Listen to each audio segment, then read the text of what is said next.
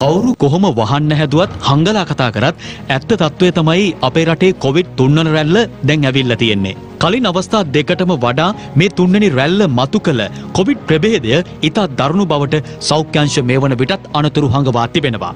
ඒක මේ දවස්වල තියෙන සජීවී උදාහරණ වලින් හොඳින් පැහැදිලි වෙනවා. විශේෂයෙන්ම තරුණ පරම්පරාව මෙවර තුන්වන රැල්ලේ ඉලක්කය බවටයි පත්ව තිබෙන්නේ. පැහැදිලිවම මේකෙන් තේරුම් ගන්න ඕන රජය සෞඛ්‍යංශ සහ සියලුම මේ සම්බන්ධයෙන් කටයුතු කරන බලධාරීන් රටේ ජනතාව රටේ තරුණ පරම්පරාවට බලපෑමක් එල්ල වෙනවා නම් ඒක රටේ කොඳුනාරටියට එල්ලවන බලපෑමක් කියන එක.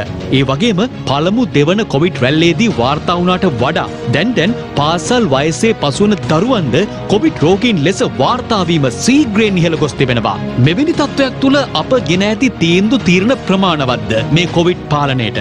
පසුගේ සිකුරාදා රජය ප්‍රවෘත්ති දෙපාර්තමේන්තුවේදී කොවිඩ් මර්ධනය සඳහා වන රජයේ සෞඛ්‍ය ආරක්ෂකාංශය ඇතුළු සියලු අංශ එක්ව මාධ්‍ය හමුවක් පවත්වා රටේ ජනතාව දැනුවත් කළා. එදා රටේම ජනතාව තුළ යම් විශ්වාසයක් තිබ්බා දින තුනක අදි සතියන්ත නිමාඩුවක් තියෙන නිසා කිසියම් දැඩි තීරණවලට රජය පැමිණුණු ඇති බවට.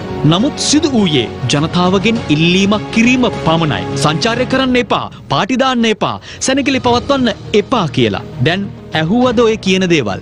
මේ නුවර එලිය තත්වේ. අවුරුදු උත්සවත් නුවර එලිය තිබ්බා.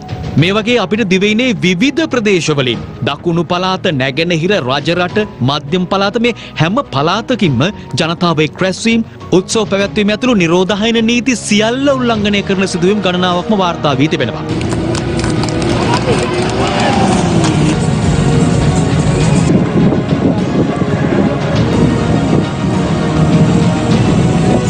තවත් විශාල ප්‍රශ්නයක් රටේ ජනතාව විමසන ප්‍රශ්න අපි මේ ඉදිරිපත් කරන්නේ.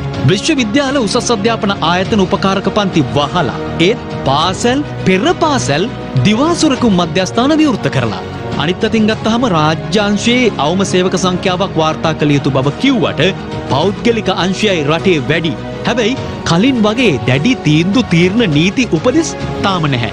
මාර්ගෝපදේශ නිකුත් කර තිබෙනවා එමෙන්ම ඉල්ලීම් සිදු කරමින් සිටිනවා. ඒ අනුව කටයුතු කරන්නට කියා. ප්‍රවාහනයේදීත් මාර්ගෝපදේශ නිසියාකාරයෙන් පිළිපදින්න කියලා කිව්වත් පාර්ට බැහැල බලන්නකෝ ඇත්ත තත්ත්වය. විදෙස් රටවල සිට පැමිණෙන පිරිස් සංචාරකින් සිය ගණනින් ලංකාවට තාමේනවා. දැඩි තීන්දුවක් තීරණයක් නැහැ. විශේෂයෙන්ම ලෝකයේ මරණ මංචකය බවට අද වන විට පත්ව තිබෙන ඉන්දියාවෙන් ගුවන්යානා එනවා අපේ ගුවන්යානා ඉන්දියාවටත් යනවා. කඩවල්වල ආපනශාලාවල පාරෙතොටේ ආයතනවල පාසල්වල පළමු රැල්ලෙදි වගේ නෙවෙයි වැඩි දෙනෙක් ගණන් ගන්න හැනේ.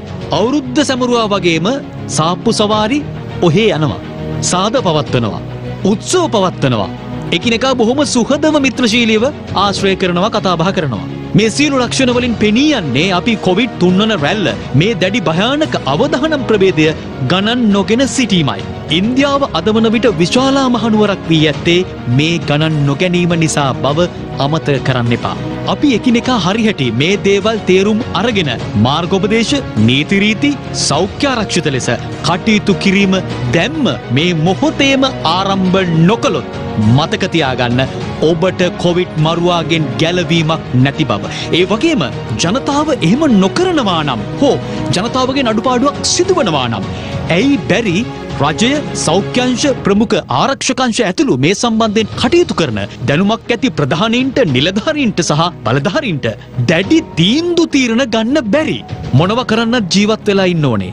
මේ අප ඉදිරිපත් කළේ මුළු මහත් රටේම ජනතාව වගකියයුතු මාධ්‍යායතන ලෙස අප වෙත ඉදිරිපත් කරන ප්‍රශ්න.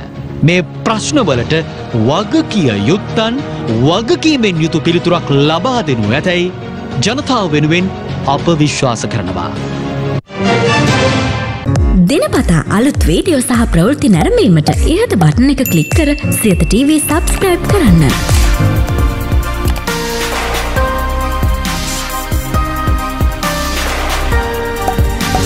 වීඩියෝ ගැන මුලින්ම දැනගන්න මෙම සීනුව කලික් කරන්න.